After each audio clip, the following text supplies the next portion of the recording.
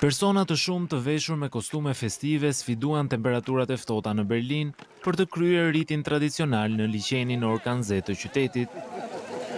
Burra dhe gra të të gjitha moshave kënduan në gjermanisht këngën e Krishtlindjes përpara se të hidheshin së bashku në liqen, ujërat e të cilit arrinin deri në tre gradë Celsius. Notarët, shumica e të cilëve anëtarë të klubit të notit, Zhytësit e Berlinit u ekzaltuan kur zbuluan se liqeni kishte një shtresë të hollë akulli në sipërfaqe.